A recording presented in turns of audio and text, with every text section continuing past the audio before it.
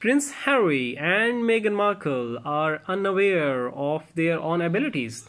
Specialists are concerned that Prince Harry and Meghan Markle are unaware of their own abilities, which they must in order to get respect.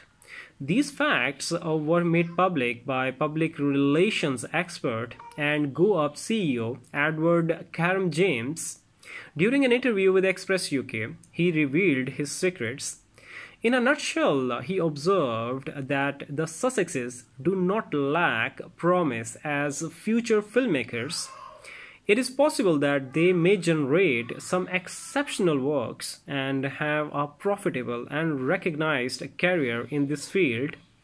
We just do not know of their abilities uh, in that sector since uh, we have not seen anything substantial from them they require support in order to be able to create such uh, things. Uh, they require relevancy to get support and uh, for the time being they require their reality